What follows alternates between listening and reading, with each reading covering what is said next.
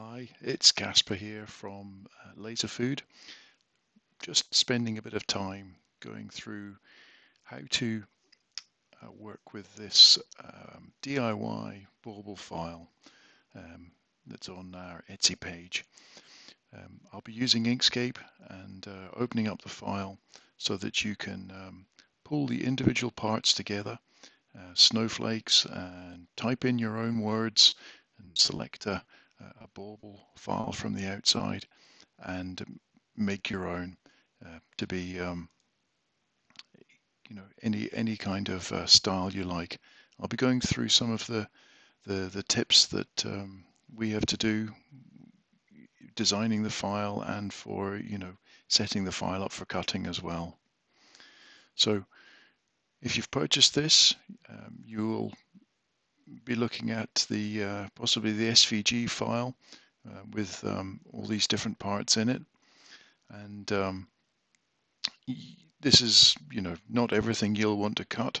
So I always recommend that you copy out some of the bits that you uh, prefer to use uh, into a new file, a clean file, and uh, just start working on it there. So I selected that. I'm going to do Control C to copy I'm going to do File New.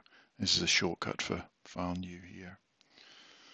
And it's just going to open up into a, a blank um, Inkscape page. I'm going to get rid of the um, dialog boxes on the side and then paste in into the middle of our screen here. Okay, so select out.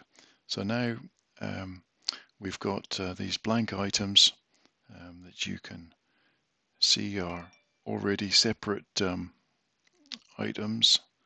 Uh, they're all um, subtracted, um, individual kind of uh, Boolean objects, meaning if you go and click on fill, uh, you can see that the holes are already subtracted.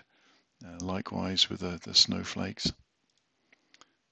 So what I'm going to do is um, going to start um, putting this together with a, a, name so that you can see what uh, how best to do it. Now picking a font is, is one of the um, main things that's going to help here. You don't want too thin a font. Um, it's got to be nice, a nice kind of script ideally, but um, nothing too thin and wispy so that it, it, it breaks um, when it's cut with a laser or if someone's handling it. So um, I'm going to do this one for Gail. I'm um, going to pick a, a size so it roughly fits in the middle, maybe a bit bigger.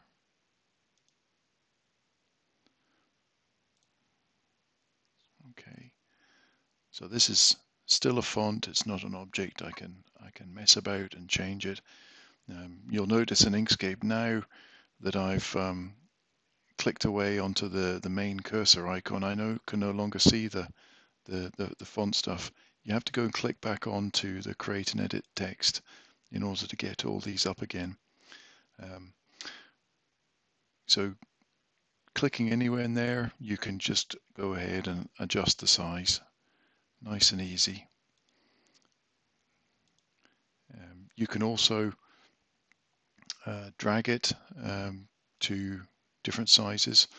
What you'll notice here is you need to put the, the padlock on, otherwise you will drag it into a, a, an odd shape. Control Z to undo. Um, so put the padlock on and then drag it so it, it changes shape in, in proportion. Um, so this could be quite good, but I, am still wary of the uh, how thin these these parts are. So I'm going to look for a, another font. Um, Inkscape's quite neat. You can click in the, the the font dialog there and just start scrolling through the fonts that you've got on your system. Um, so you might download new fonts uh, and install them onto your computer. Um, just note that when you do that, um, you won't see it in Inkscape immediately. You've got to close down Inkscape and start it up again before you can see those new fonts. That's not bad, but it could be a little bit uh, neater.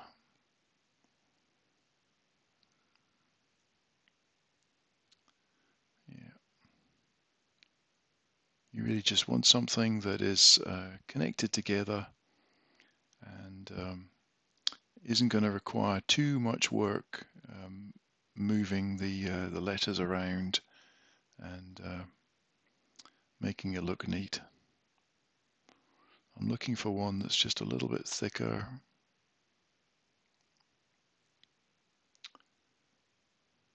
Let's see some Halloween ones in here. Yeah, that one's good. A little bit big for fitting in perhaps, but you can see here now that the lines that connect the letters together, although it still looks nice and scripty, it's um, it's not too um, chunky. Sorry, it's not too um, fine. I'm just going to make it ever so slightly bigger so I can get the edge of that um, L in as well. So you can see here this is going to fit reasonably well. Um, I'm going to make this the the the back the main bauble part black as well, so I get a a rough idea of what it's going to look like when I um, uh, I'm going to cut it out. It's just a quick um, sneak preview, but you you can imagine that um, these uh, letters in the middle are going to be still going to be a bit flexible if someone puts their thumb through it. So a, a neat thing we can do is go and add in some of these snowflakes.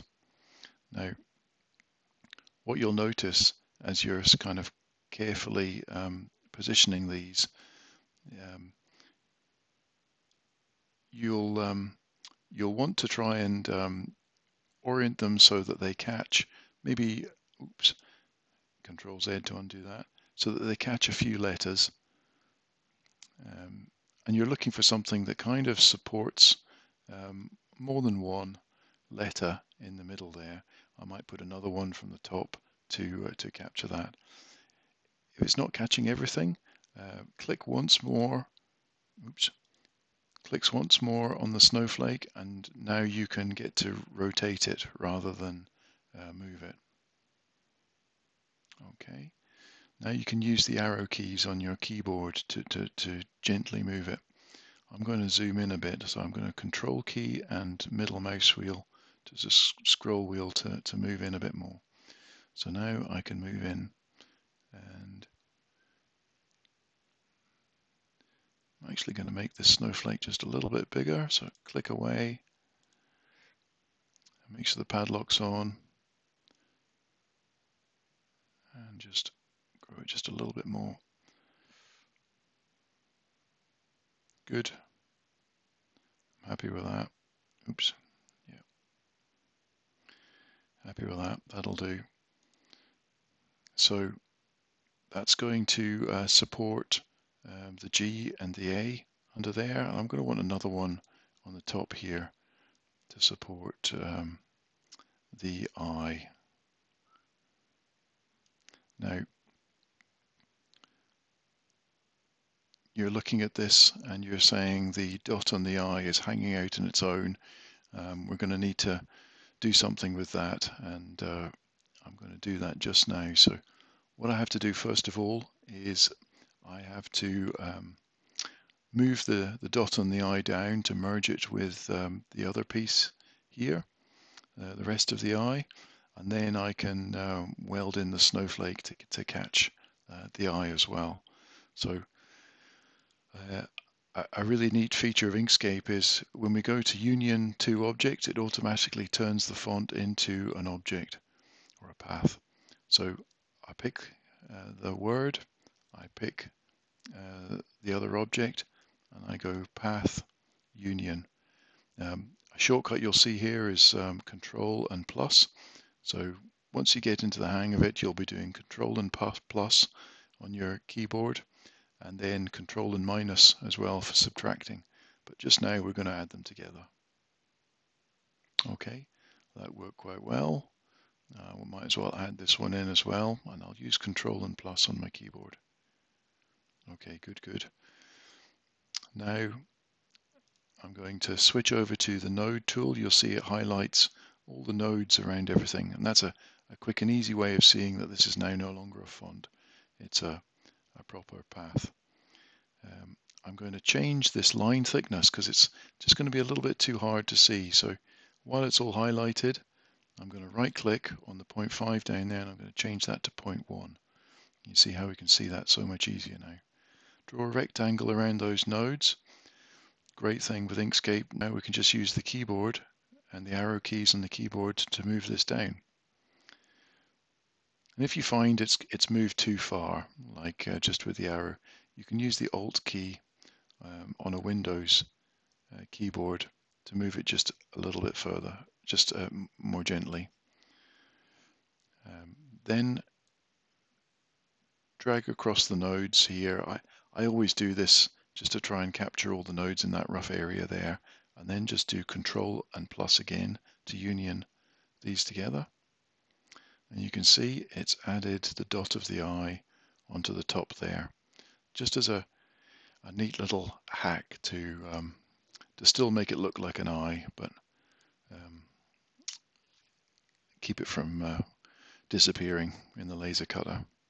So this um, this snowflake here, uh, I'm going to move this into rough position.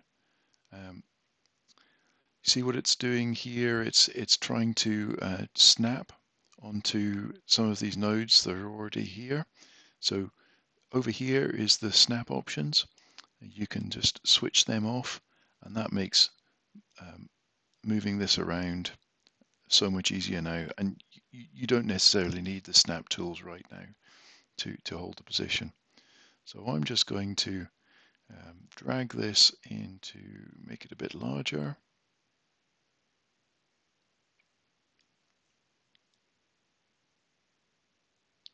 I'm going to catch the L and the top. Holding the Alt key just to make sure. Just a little bit bigger. Doesn't have to be precise.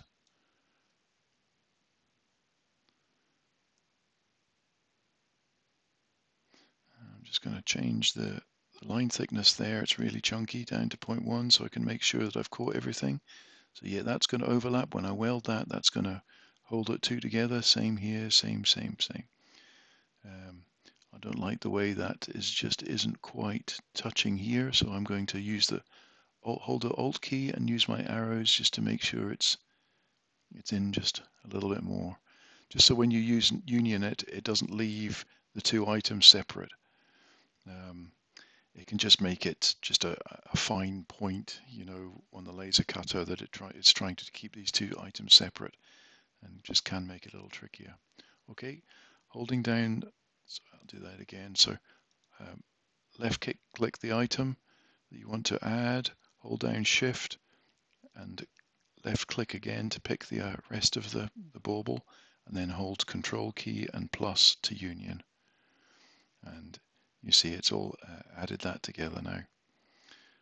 So that's come out uh, nice and neat.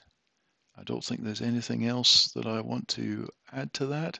Uh, you can, of course, um, add uh, different things in, uh, but that's good. Let's just put the black fill on to give us an idea of what it'll look like when it's cut out. I think that'll be pretty good.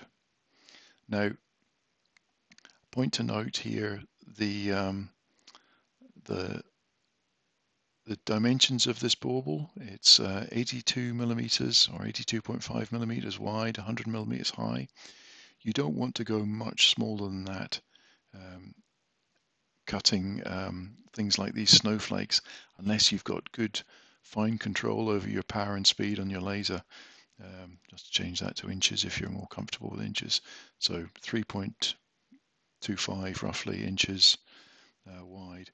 Um, if you shrink this bauble much much smaller, you'll um, you'll end up burning through um, the really fine parts in, in this geometry. So that's it. Um, I'm going to uh, save that and um, you can now um, send this, uh, save this as an SVG and you can send that to the laser cutter. So get rid of this.